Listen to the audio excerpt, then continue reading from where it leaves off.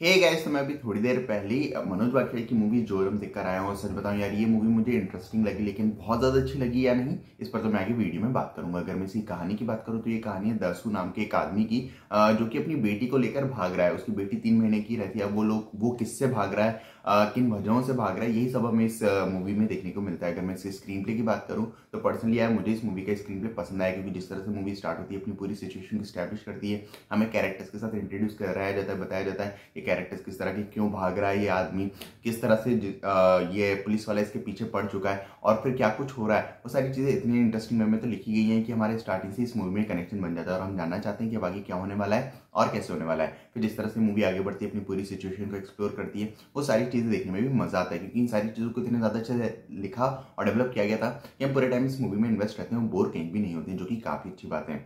जहाँ तक बात है कैरेक्टर डेवलपमेंट और कैरेक्टर्स की पीछे डायनामिक्स की, सभी कैरेक्टर्स को इतने ज़्यादा अच्छे से लिखा और डेवलप किया गया है, कि हमारा लगभग सभी कैरेक्टर्स के साथ एक अच्छा खासा कनेक्शन बन जाता है जो कैरेक्टर्स के पीछे डायनामिक्स थे, वो भी मुझे पसंद आया लेकिन इन सबका ये मतलब बिल्कुल भी नहीं है कि ये मूवी कोई मास्टरपीस है, ऐसा बिल्कुल भी नहीं है। इस मूवी में भी काफ़ी सारी प्रॉब्लम्स हैं। अगर मैं बात करूँ इस मूवी के नेगेटिव पॉइंट्स की तो इस मूवी में स्टोरी के नाम पे आपको बहुत थिन लाइन स्टोरी देखने को मिलती है, जो कि आप काफ़ी आराम से क्रिएट कर पाते हो ट्विस्ट के नाम पे आपको कुछ भी देखने को नहीं मिलता। आप इस मूवी के हर एक बीट को इतने आराम से गेस करते चले जाते हो कि जब इस मूवी का क्लाइमेक्स आता है तो आप पे किसी भी तरह का कोई भी इम्पैक्ट नहीं डाल पाता है। ये मूवी इमोशनल हैवी ज़रूर है, लेकिन हाँ कहीं ना कहीं आप सारे लोग, मैं ऐसा फील करता हूँ कि सारे लोग इस मूवी की इमोशंस के साथ कनेक्ट नहीं हो पाएँगे। ये मूवी जो है वो एक काफ़ी स्पेसिफिक ऑडियंस के लिए बनाई गई है।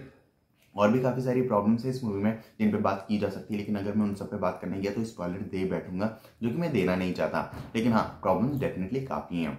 जहाँ तक बात है एक्टिंग की तो मनोज बाजपेयी और जिसान आयुब, शेख का काम बहुत ज़्यादा अच्छा है। सच में यार, उन दोनों ने अपने एक्ट कैरेक्टर्स को जिया है और सच में देखकर लगता है कि हाँ अगर ये कैरेक्टर ज़िंदा होते तो कुछ ऐसे होते। और सच में दोनों ही काम काफ़ी ज़्यादा अच्छा है। बाकी की जो सपोर्टिंग कास्ट है, उनका काम भी मुझे पसंद आया। जहाँ तक बात है डायरेक्शन और एडिटिंग की डायरेक्शन सच में काफ़ी अच्छा है। डायरेक्टर ने जिस तरह से इस पूरी मूवी को बनाया, वो काफ़ी अच्छा है। डेफिनेटली थोड़ा और बेटर हो सकता था। जो एडिटिंग है, वो भी मुझे ठीक ठाक ही लगी। अगर मैं बात करूँ प्रोडक्शन क्वालिटी की तो वो भी ठीक ठाक ही है।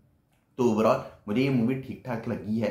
डेफिनेटली अगर आप इस मूवी को एक चांस देते हो तो आपको मज़ा आएगा, आप इंगेज रहोगे। लेकिन हाँ जैसे कि मैंने कहा, ये मूवी कोई मास्टरपीस नहीं है। लेकिन हाँ अगर आप एक बार देखोगे तो आप डेफिनेटली इंजॉय करोगे। तो आपको ये मूवी देखनी है नहीं, ये आपके ऊपर है। और अगर आप लोगों ने मूवी देख ली तो मुझे कॉमेंट्स में ज़रूर बताना कि आपको ये मूवी कैसी लगी। बाकी मिलते अगले वीडियो में। तब तक लिए जय हिंद, जय भारत।